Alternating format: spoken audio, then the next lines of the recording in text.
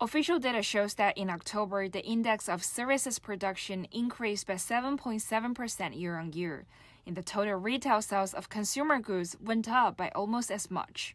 The total value of industrial enterprises above a designated size grew by 4.6% year on year. Among them, the equipment manufacturing industry, represented by automobile manufacturing and electrical machinery, has a relatively obvious driving role. In October, the added value of the equipment manufacturing industry above the designated size increased by 6.2% year on year, registering growth for three consecutive months. In October, the Consumer Price Index, or CPI, went down by 0.2% year on year, and Liu explained why.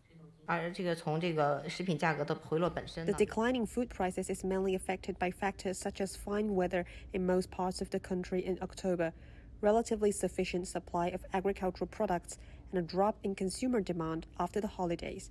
It has obvious seasonal characteristics.